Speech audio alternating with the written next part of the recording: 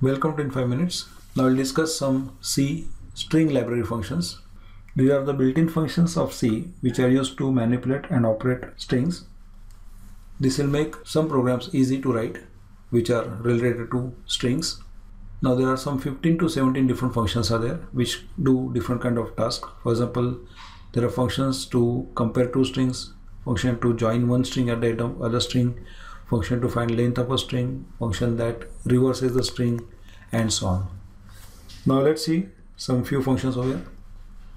Assume A is a string with value ABCD, B with value ABCDEF and C with PQR. Now let's see some four functions over here. First function is string length function. The function calculates and returns length of a string. Name of the function is string len, strlen. It works like this. We need to write string for which you want to get the length and the length will be given as some variable value. In this case, length of a string will be calculated and stored into i. So in this case, we'll get i equal to 4, that is number of characters in string a. If you write i equal to string length of c, I'll get i equal to 3. Next is string copy. Function copies one string to other string. Name is strcpy. The syntax is like this. We write two strings over here, let's say a and c. It copies second string into first string that is C will be copied into A and result will be A will change, C will remain as it is. So after this operation is done, string A will be PQR. C will remain as it is. Then there is a function called as string concatenation function.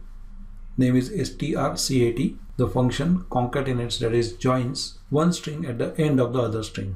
One of them changes, one remains unchanged.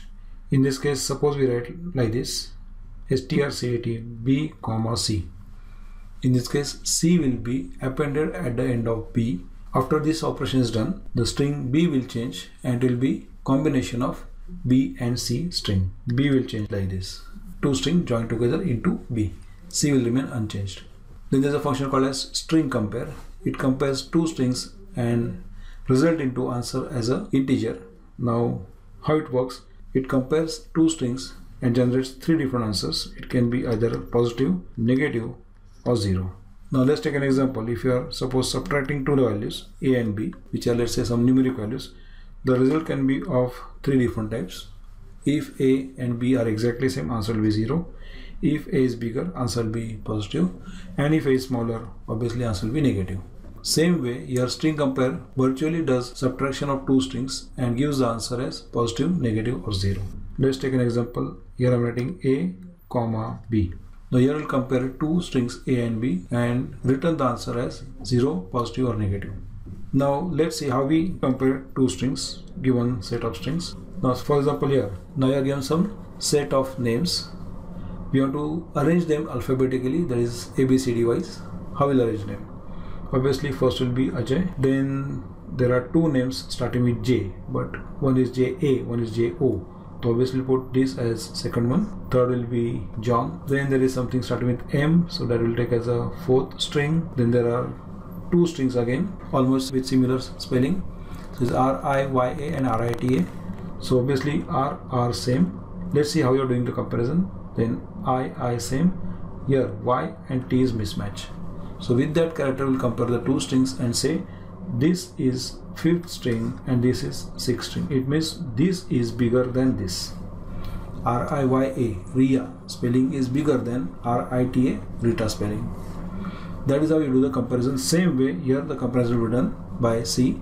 Now a is abcd and b is ABCDEF. it does subtraction like this a minus b now i'll compare a and a both are exactly same b and b they are mismatch because it is case sensitive so when it finds first character different it returns the answer of that difference as a value so it will be b lowercase b ASCII code minus uppercase b ASCII code. The return value will be positive. So in this case we'll get the answer as positive value that is difference between the first mismatch character. Now when you want to really compare strings in your program we are never supposed to write a less than b or is a equal to b. We should not write like this.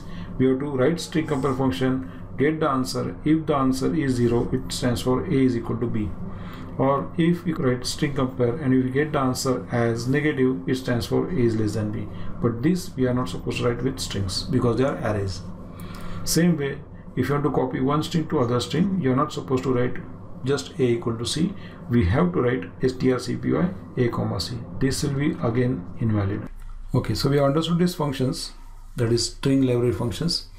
When you'll be using any of these functions in your program or any other function of string we need to include one header file name is string.h so we need to write a command hash include string.h in your program at the top with other header files. Like we write math.h for square root or power functions. Same way to use these functions we need to write string.h thank you